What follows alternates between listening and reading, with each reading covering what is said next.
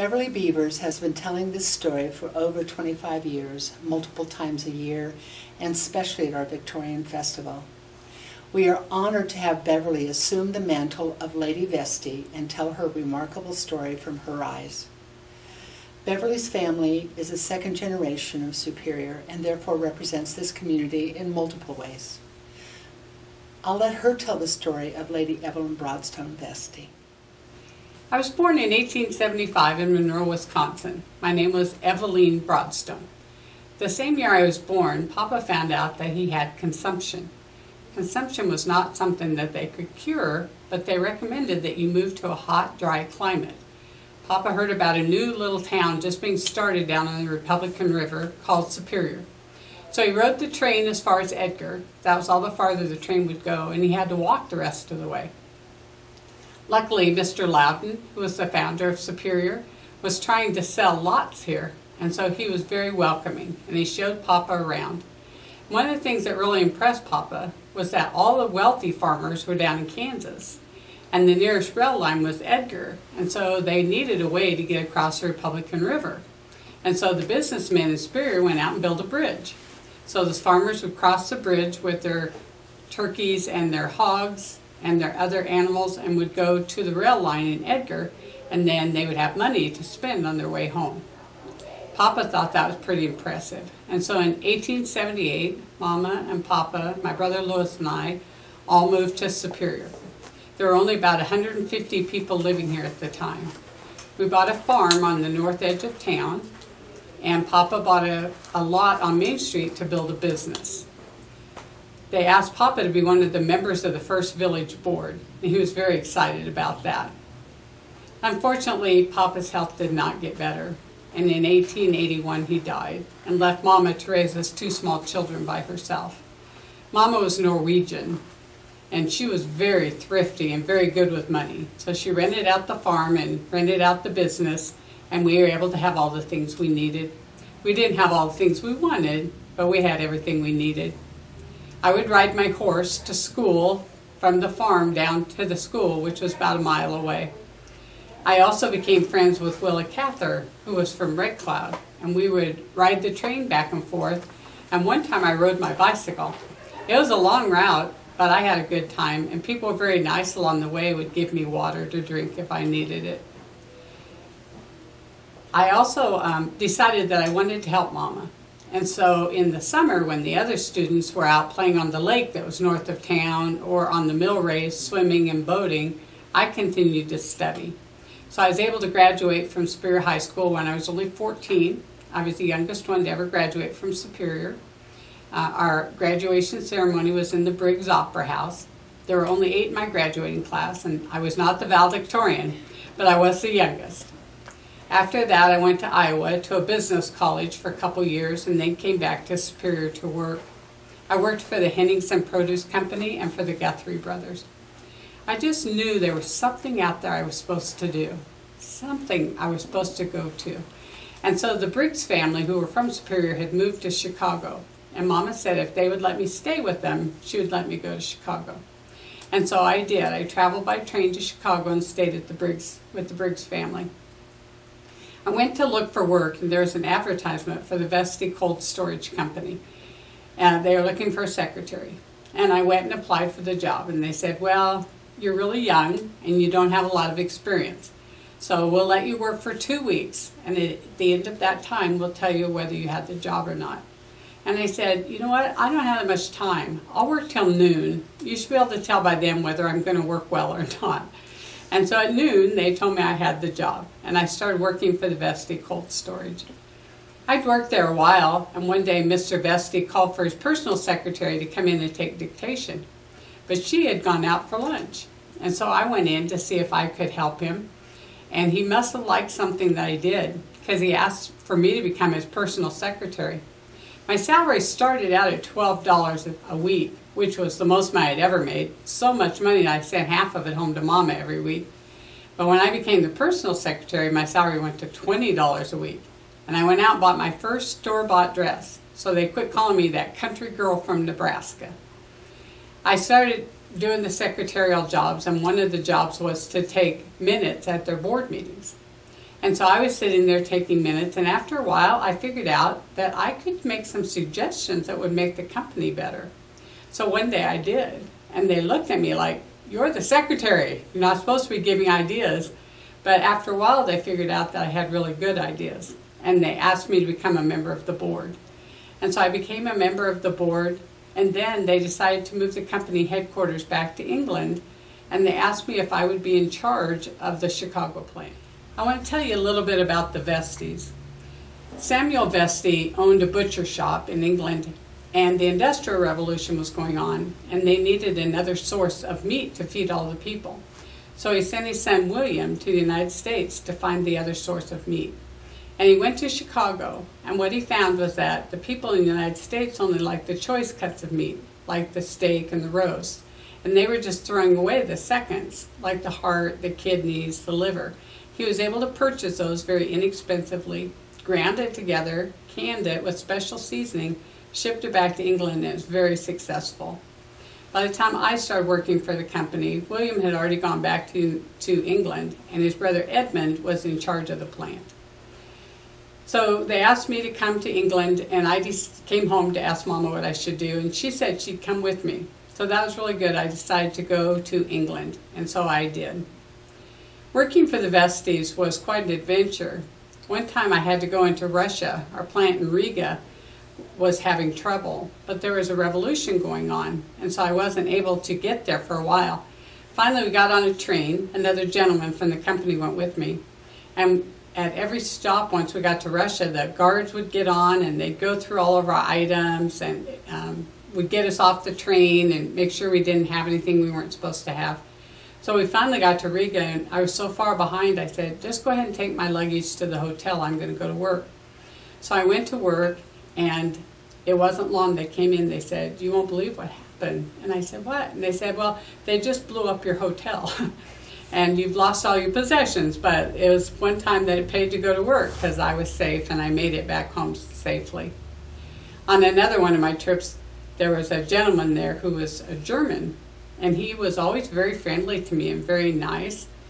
And when I got ready to leave, he handed me a letter. And when I got back to England, I found someone that could read German, and he asked me to marry him.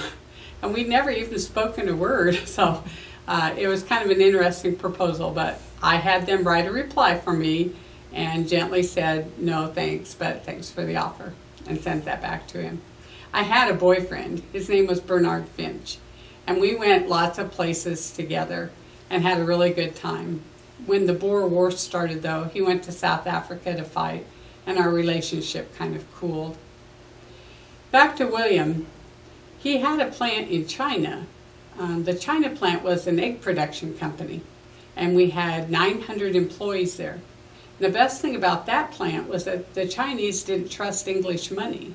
They wanted paraffin, rice, or denim cloth for payment. And William was able to purchase that so inexpensively, so it was a very profitable plant. One of the problems was if you've ever tried to ship an egg, they don't ship very well. And so England had really seasonal baking. They weren't able to um, have eggs all the time.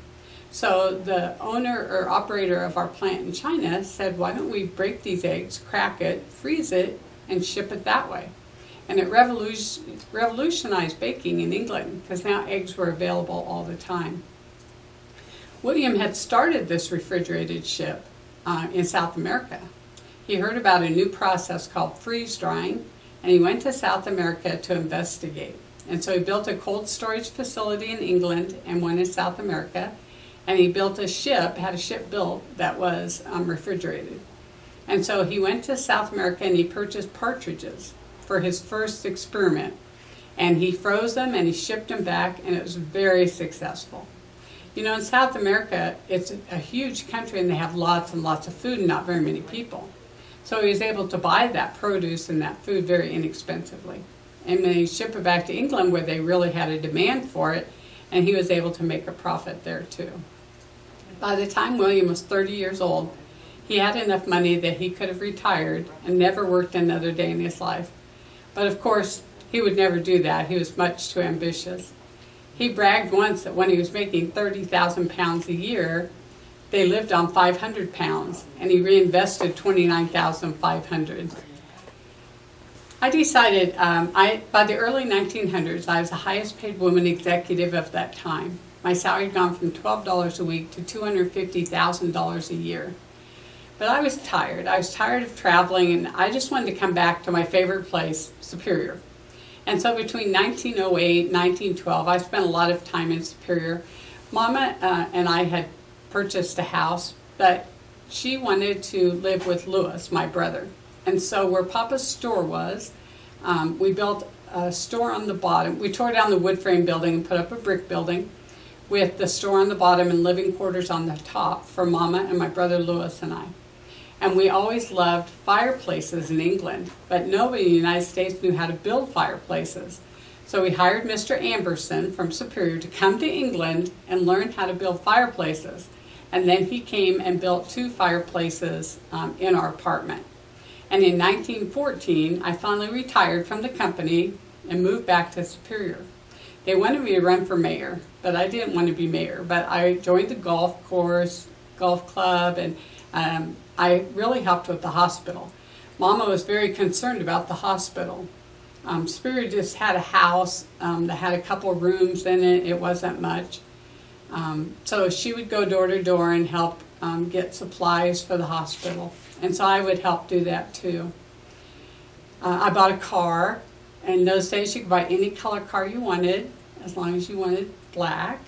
And I never could tell my car when I'd come out of a store, and so I just bought red paint, painted my back tires red. And they thought it was a little eccentric, but it worked really well for me, and I could spot my car right away. So I did that. The car was really neat. It had doors in the middle that would open out this way, and then you'd come in and go around to the seat. So it was really kind of fun to have a car and drive around town. They also um, were expanding the park, and so I helped them get the money so that they could do a big park down in part of Superior. You know, one of the things I remembered when I came to Nebraska was there were no trees. When we got off the train, I was only three, but I remember it's just mile after mile of grass blowing in the wind and no trees anywhere. And I wanted the young people of Superior to always have a shady place. And so I helped them get the money for the park so that they would have a place for young people to go that was a little cooler. You know, Superior had one big tree at that time, and on Sundays everybody would gather under that tree. It was just a fun place to go it's always so much cooler if you can find shade. Um, then in 1914, World War I started, and William cabled me, and he said that they had gotten the contact contract to feed all the Allied troops and would I come back and help? Well, of course, I couldn't refuse to do that. So I went back to England. He said, We need you to go down to South America. And I went to South America and I purchased a $20 million business down there. And we got it all set up and running. Um, then I went back to England and he said, We really need you to go to Australia. Well, I couldn't go the normal way because the Germans were sinking ships. So I got on a ship and came to the United States. They had a train waiting for me. I took the train across the United States, got on another ship, and went to Australia. I was the only white woman on the group going into the interior of Australia. There were some other women, but not other white women. But I traveled to the interior of Australia and I was able to negotiate the lease of millions of acres of land. And we already had processing plants at Sydney and Melbourne. And so um, we hired the people to run them, and we were able to get enough meat to feed the Allied troops. And at the end of World War I, William was made a member of the House of Lords and became Lord Vestey. So I finished things up, but by 1918, I was ready to retire again. So I moved back to Superior. Well, you know, in 1918 is when the Spanish influenza went through. And Superior realized that they had to have a hospital. By that time, they had a brick building on Main Street but it only had, oh, I think it was less than 10 beds. So when I was home, they asked me to go door to door to raise, um, get supplies. And I said, well, what kind of supplies are we looking for? And they said, anything they'll give food, blankets, pillows, whatever they give, bring it. And so I went to this house and they said, well, all we have is this old feather mattress. I said, okay. I didn't know what they'd do with it, but I put it on top of my car and drove it back and hauled it into the house. I told them, I said, ladies, look, I've got this old feather mattress. And they said, well, good, we'll use it to make new pillows. You'll use the feathers. And I said, well, I'll help you. And I grabbed some scissors and I split that mattress open, and those feathers flew everywhere. It was like a snowstorm in this poor lady's house. Uh, I didn't realize that you have to cut a little hole and work the feathers through. After that, they didn't let me do that anymore. They would let me help keep books, but they wouldn't let me do the other things. In 1918, we had trouble with our plant in China, and William cabled me and said, We really need you to go to China. And I cabled back and said, No, I'm not going. Well, he came to Superior. And two days after he left, so did I. And I traveled to China. There was a revolution going on in China also.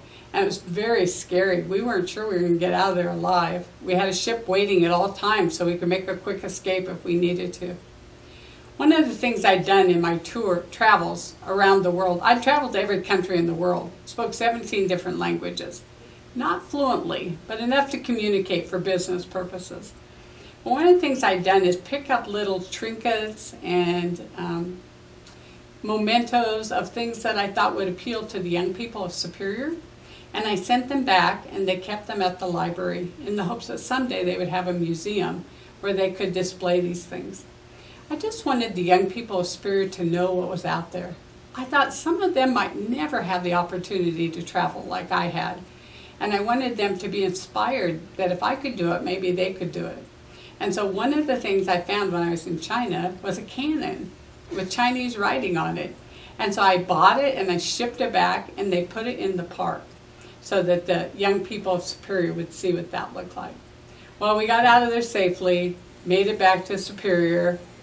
Um, William Vestey was married. His wife's name was Sarah, and they had four sons. But at the birth of their last son, Sarah became kind of an invalid. She was in, she had physical problems, but she also had mental problems and was unable to leave their home. So through the years, when William would come to London on business, lots of times he'd bring his boys with him, and I would help him shop for school clothes. Sometimes William would come to our house. Mama lived with me off and on through the years, and she was a wonderful cook. So he loved to come to our house. Um, so we became really good friends, and I became really good friends with his children. Well, in 1923, Sarah died. And in 1924, I got a cable from William, and he said that Edmund was down at our South America plant, and he'd fallen and broken his leg. And would I please go down there and help finish up the business? Well, I couldn't refuse that. So I got on a ship and went down to South America, and helped finish up the business, and then got on a ship with Edmund and went back to England. And when we got off, there was William with his arms full of roses, and he asked me to marry him. And I said what any 49 year old unmarried woman would say I have to go home and ask Mama first. I never made any major decisions without Mama's approval. She was the smartest woman I ever knew. So I came back to Superior and I asked Mama what I should do. And she said, Well, he is the richest man in England and the seventh richest man in the world. And if you marry him, you'll never have to worry about money. I said, But you know what? I have my own money. I was never one to spend a lot of money. I didn't really like shopping. I never made a purchase without serious consideration. Um, and so I had my own money. And she said, Well, if you marry him, you might be the only small town uh, girl from Nebraska to ever become a member of English nobility. I said, Well, don't really care about that either. I'd never been one to seek um, notoriety or any recognition. And she said, Well, I guess what really matters is, do you love him? And I said, I think I've loved him for a long time. And she said, Then you should marry him. And so I cabled him and said yes, and he came to Superior. And we had a little gathering of our friends, about 40 friends, down at the Bon Ton Cafe. Uh, the name was much nicer than the actual cafe, but it was really fun. And we were going to get married on my birthday. It would have been my 49th birthday. August 1st, um, but we decided to get married in New York City instead. And so we got married on August 9th. Um, before we left town, though, Mama was really worried about the apartment downtown because the steps were so steep and she was afraid if there was a fire she wouldn't be able to get out. And so William and I drove her around town and we let her pick any house she wanted as a thank you for all the things she had done for me through the years. And she found a perfect house. She was so excited and luckily it was for sale. And so we were able to buy it. And uh, Mama came with us on the train as far as Chicago, but then she wasn't feeling well. So she turned around and came home. So she wasn't able to be at my wedding. But we got married at the little church around the corner. And we spent a week in New York City. And then we got on a ship to go back to England. And on the way, we got word that our plant down in Rio de Janeiro was on fire. And so as soon as we docked, business always came first. I was on the ship going to South America, and William went back to work in London. Um, when I was down there in South America, I got word from my brother Louis that Mama had, was busy packing. She was so excited, and um, she got uremic poisoning, and she died. And I was so far away when she needed me the most. And I just felt so helpless down there. And William came and got me, and we came back to Superior. And one of the things Mama had worked on all through the years was the hospital. And so my brother Louis and I got together and we said, let's let's donate a hospital. And so we had our summer home on the middle of this lot. Um, it had belonged to Mr. Brown, and so the Three Sisters oak tree was out in the backyard, and um, we gave them that lot and we gave them the house, which they moved off of there, and they built a modern 25 bed hospital, one of the nicest hospitals outside of Lincoln or Omaha at that time. And one of my friends wrote to Willa Cather and said that Mama had died, and would she write some kind of a message that they could put on a plaque in the hospital? And Willa, she was so unassuming, she just wrote back and said, Well, how about this?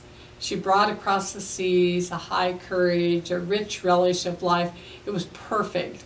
And so they put that on a bronze plaque. And the hospital opened in 1928, and Willa Cather was here for the opening. Unfortunately, that's when we finally got to go on our honeymoon, so I wasn't here, but Willa was. William and I uh, lived in London. Um, we had a house. You'd come over the hill, and there's double gates, and you'd open the gate, and you go over the hill, and there was Kingswood, uh, four stories high. It was kind of a yellow brick house. The house had 45 rooms. Uh, had a garden uh, out and back, which was well cared for with a an archway that you could walk through with climbing roses over it, and uh, a ballroom and marble floors. It was a very beautiful home. Um, it was very close to work, which was the nicest place, the nicest thing about it, because it was like being in the country, but it was right in the middle of England, of London, and so we could easily get to work. Um, but it always rains a lot in England, and so we decided we wanted to travel. But William was one that never believed that you should pay somebody to do something you could do yourself. And so he had the Arandora Star built, our own cruise ship. And uh, it was built to haul 400 people, and um, we traveled all around the Mediterranean Sea. It was so nice because you'd have your quarters and you could do a day trip and they'd plan it for you so you could like dock in Egypt and take a tour and then come back and all your things were there. We had a home down on the French Riviera um, and we spent a lot of time down there. William was 66 when we got married, and so he was ready to slow down at work. And so his brothers kind of took over the business, so we were able to travel more and do more things together. We uh, got word in 1936 that my brother Louis was sick. My brother Louis was quite a character. He lived here in Superior, and he never got married. But he knew when every train would come into Superior, Superior had five trains a day, and he had his watch set so that it would go off. And he would be able to tell you who was coming and who was going and who was visiting and what purchases they got, what packages they got. So his letters were always full of good information. Lewis liked to ride his bicycle, and so he belonged to the Century Club. So you'd ride 100 miles, and every time you did, you'd get a gold bar and he wore a white long sleeve shirt, and there were gold bars all the way up his arm from his 100 mile bike rides. But what he actually did was start a magazine called the Philatelic West, and he traded coins and postcards and newspapers with people all around the world. They would they would advertise in his book and then sell things to each other. Um, his handwriting was so poor that the publishers in Superior wouldn't publish it so it had to be published outside of Superior. But he actually did more to put Superior on the map than I ever did um, with his Philatelic West. Eventually, he sold it and it became the Hobbies magazine, which is still being produced. Louis did have a girlfriend. um, was Harry Hannah's sister. And the, um, she was an older lady too, kind of a spinster, and she and Lewis got along really well. So I was very excited for Lewis to have some companionship. And one day her mother was dying, and she was sitting at the foot of her mother's bed, and she just, the daughter just fell over dead, half an hour before the mother did. And so Lewis was never able to marry, and he was never able to have children, of course. So um, in 1936, he got sick, and we came back and we took him to Mayo Clinic. But unfortunately, he also died. And so we wanted to do something for Lewis. And so we bought the land um, in the west part of Superior for a bird sanctuary. And they asked if they could put the football field there. And we said they could. And so it became the Brodstone Memorial Field in memory of my brother Lewis. So William and I went back to England. Um, we worked some, we traveled a lot, but World War II was starting. And the United States, of course, didn't want to help because of World War I. They were tired of war, they didn't want to get involved. Um, the Battle of Britain started. And the Battle of Britain, German planes would fly over London day and night, dropping bombs, and you just never knew if your bomb was a direct hit, you were just gone. The air raid sirens would go off, and we'd have to go down to the basement, and it was damp, and we'd keep mattresses down there so we could try to get some sleep the RAF, the Royal Air Force, did a really good job of trying to keep them out, but they still were managed to slip in. One day a man was driving down the road, all of a sudden the car ahead of him just disappeared, got hit by a bomb. Um, when the air raid sirens would go off, if you're out in your car, you had to find a shelter or get out and lay in the ditch. Uh, it was really a rough time, and the fires were everywhere. And we knew Kingswood would be a target, and it was. Luckily, we'd moved out. They dropped a bomb in the backyard and it blew out all the marble floors and all the windows and the doors and put glass everywhere. Um, it was so sad because we had used Kingswood for lots of volunteer things. We'd let young people come there. Um, they handed out gas masks from there. It was just sad for not just us, but for a lot of people to see Kingswood destroyed like that. The Arandora Star, they commandeered her and painted her battleship gray, and they used her to haul 1,700 men, uh, prisoners of war and internees, out of England to Canada for the duration of the war. And Captain Moulton, who was our friend, protested and said, You can't send us out without protection because the Germans are sinking ships. And they didn't listen. And so they set sail, and within a day, they got hit by a torpedo. And of course, all the lights went out. The men that were on the below decks found that they put barbed wire to keep them from moving from one deck to another. And a lot of them threw themselves on the barbed wire trying to break through, and of course, were caught there and sank with the ship. The ones that made it up on top found out that the life rafts were hooked down with a special um, lock and no one knew where the key was, and they weren't able to get those open. They did have life jackets. There were some lifeboats, and they were able to get those in the water, but they'd taken out the oars to prevent somebody from escaping. And so they had to paddle with their hands, and there weren't enough lifeboats for everyone. The Arandora Star sank very quickly. Um, at the end, people were just jumping overboard. The captain was our friend, as well as William's nephew, who was an officer on board the ship. The rescue came fairly quickly, but the ones that were in the water were freezing cold, and a coat of oil had come to the surface when the Arandora Star sank, and so to get them out of the water took hours. Um, over half of the men did, um, perished that day when the Arandora Star sank. It was one of our saddest losses. We lost a lot of ships in World War II, but that was the one that had the most meaning for us because we'd had so much fun on it. And it was just sad to see that many men leave, uh, die. Uh, an interesting story was that several years later, um, on one of the coasts, they found bodies washing ashore. And what they realized was that they were from the Arandora Star because with their life jackets, they stayed afloat. And so they started a cemetery for the men who had perished in the Arandora Star that showed up because they weren't able to identify who they were. So there's a cemetery there for them. So William and I um, did the best we could. You know, we lived on what we could. But in December 1940, William got sick and he died. So it's 1941, and I'm in England. My friends wanted me to come back to Superior when the war started, but I couldn't. I couldn't leave them. Uh, I felt like I had to be there to do my share. And so I'm living in a little house on the rail line. I have good friends, but now I've lost Mama and Papa, my brother Louis, and now William, the love of my life. I never got to have children because I was too old when I got married. Uh, William's children were nice to me, uh, but I didn't have children of my own. And in May of 1941, I got sick and I died. I was cremated and I wasn't able to have my ashes returned to Superior till 1946. When I was returned to Superior and buried at the foot of Mama's grave, Mama and Papa, and my brother Louis, and I are all buried together up in the Evergreen Cemetery, which was actually um, on part of our original farm that we bought when we moved to Superior. We had deeded part of it to the city when Papa died so that um, he would be buried on our home place.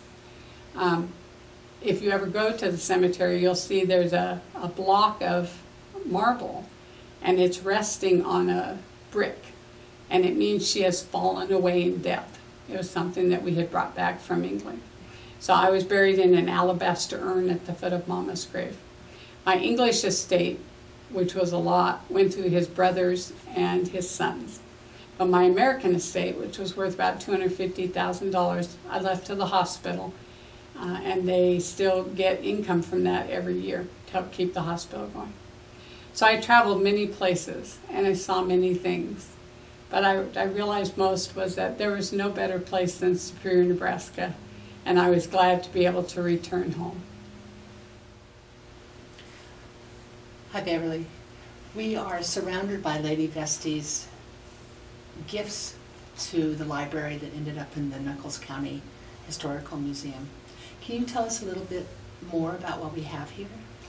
Yes, if you come to the museum, you'll find some of my childhood things, the bed that I slept in, the doll that I played with in her carriage. You'll also find little trinkets and mementos I sent from around the world, from China and Japan. There's a robe made out of hair from Australia and a boomerang.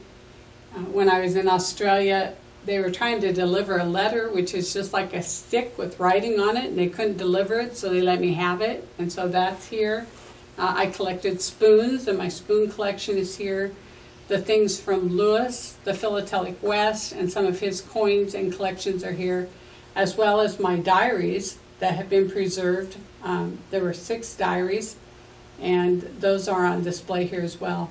We also have um, a book full of different reading things about Lady Vestey, um, some newspaper clippings, and so if you need any more information, the Nuckolls County Museum is the place to go. Great. Thanks. Beverly has passed the torch forward. This community has been blessed by her work, and we give her our deepest thanks.